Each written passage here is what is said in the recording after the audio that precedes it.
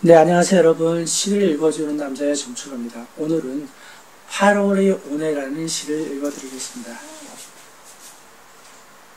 8월이 오네, 정철호. 8월의 아가리, 뜨거운 악취가 코를 찌릅니다. 녹아내리는 대지에 서투른 부채질이 어색합니다. 어둠이 와도 지칠 줄 모르는 이 광란한 시간.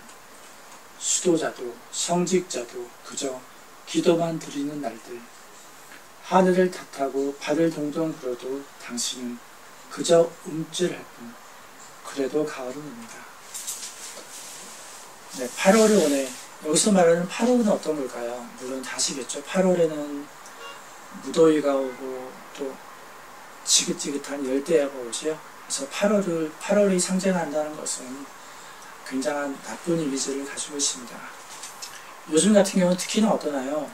뭐 무더위도 무더위지만 그, 그 뭐죠? 코로나 때문에 여러분들이 많이 상심하시고 어려움을 많이 겪고 있습니다. 무더위도 오고 코로나도 오고 그렇죠. 그렇지만 여름은요 언제나 가게 되어 있습니다. 가을이 옵니다. 우리는 가을을 준비하는 사람이 되어야겠습니다. 네, 오늘은 8월이 오늘라는 시를 읽어드렸습니다. 감사합니다.